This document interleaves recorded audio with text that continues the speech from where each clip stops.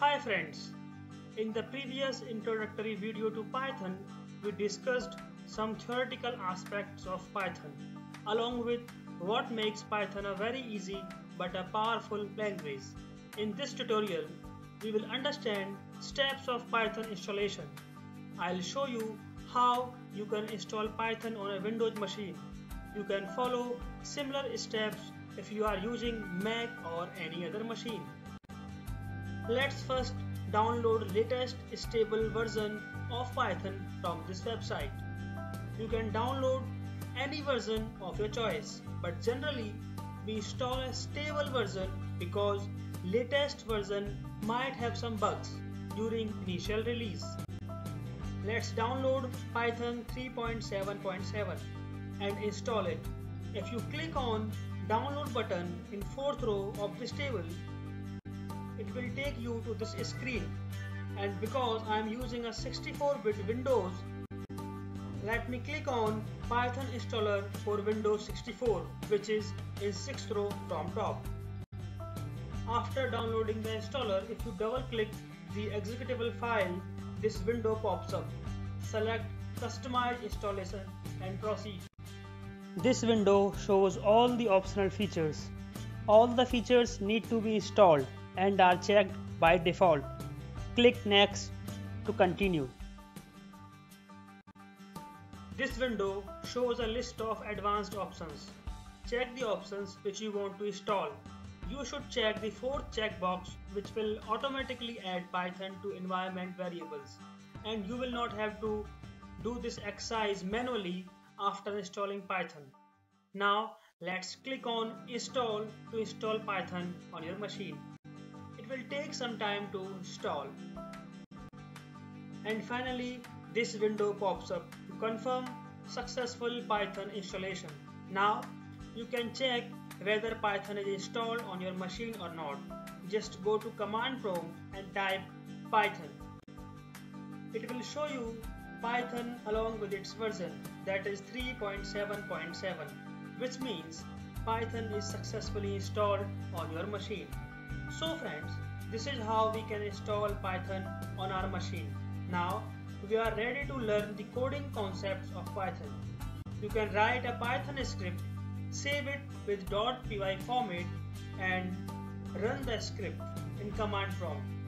But while learning Python, we will not use this method. We will use Jupyter Notebook for easy writing and better visualization of code and code outcomes. You should download open source edition of Anaconda to access Jupyter Notebook. Jupyter Notebook is an open source web application that allows us to create live code with simple handling of code and proper visualizations. Click on the first link to download open source individual edition of Anaconda.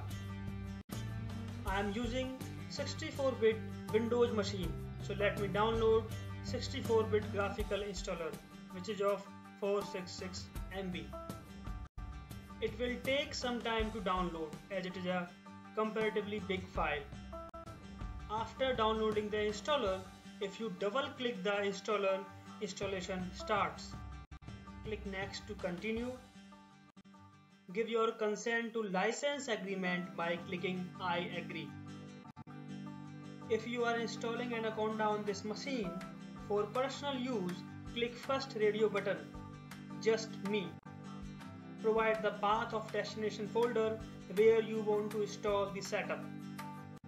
Click install. It will take some time to install and now the installation is complete.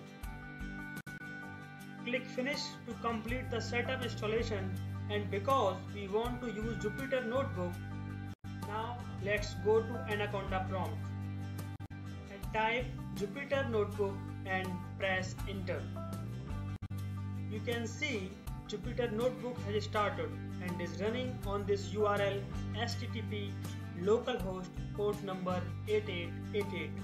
Copy this URL and paste in the browser.